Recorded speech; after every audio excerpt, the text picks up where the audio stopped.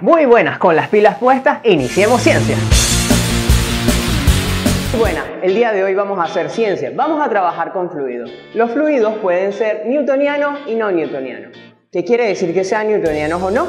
Esto se da por las leyes de Newton que explican que si un cuerpo con fuerza entra dentro de una superficie líquida, esta va a tener que irse hacia los extremos permitiendo que el objeto pase con facilidad. Obviamente el objeto va a tener una resistencia mayor que el viento o mayor que el aire que nosotros respiramos y donde nosotros nos movemos. ¿ok? El mayor exponente de esto son las soluciones líquidas, mientras que el de los no newtonianos son las mezclas coloides, que impiden el paso, como si fuera un sólido, de un objeto con fuerza. ¿ok? Vamos a verlo con un caso acá. Fijemos de que aquí la roca está pasando, esta es la dirección de la fuerza y el cuerpo que está entrando dentro de la solución de fluido líquido es la roca. Vemos de que el movimiento que el agua va a hacer va a permitir que la roca pase, ¿ok? Mientras que en un fluido no newtoniano nosotros vamos a lanzar una roca y esta se va a permanecer en la superficie brevemente porque todas las partes coloidales o los coloides que se encuentran en el fluido van a impedir el paso de la roca, mientras que la parte líquida de ese fluido simplemente se va a ir hacia sus extremos. Demostrémoslo con un experimento. Bueno chicos, experimentemos ciencia. Vamos a hacer un ensayo sobre los fluidos no newtonianos con estos materiales. Aquí nosotros tenemos una cuchara, un recipiente plástico, dos tipos de harina, otro recipiente para medir y un recipiente con agua. ¿ok? Las harinas que nosotros tenemos es maicena y harina de trigo. ¿De acuerdo? Ajá. Dentro de los líquidos o soluciones newtonianas, nosotros podemos apreciar de que si lanzamos un objeto con suficiente fuerza, este va a pasar con facilidad hacia el fondo.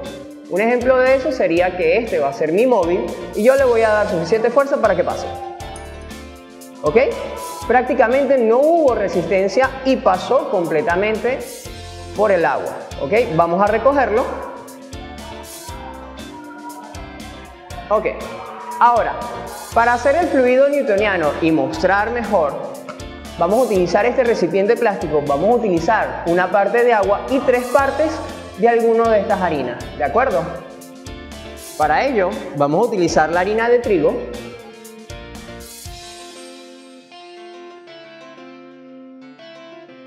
y otra porción de la maicena.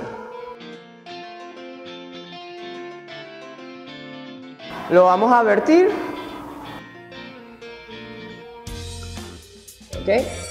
Y le vamos a colocar al mismo recipiente suficiente agua para representar una parte de lo que nosotros colocamos. Ya tenemos la medida agregamos, ¿de acuerdo? Y batimos de 1 a 3 minutos.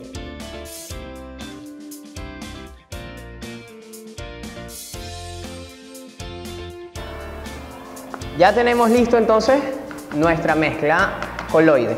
A dejar la cuchara por acá. La demostración que vamos a hacer es simplemente darle con fuerza a el recipiente. Si nosotros nos percatamos, al primer impacto no vamos a llegar hasta el fondo del recipiente. Nosotros tenemos que esperar breve lapso, como uno o dos segundos después del golpe, para poder entrar a él. Muy diferente a lo que fue la metra cuando se lanzó dentro del recipiente con agua. Bueno chicos, hagan su experimento. Los espero. Cuídense.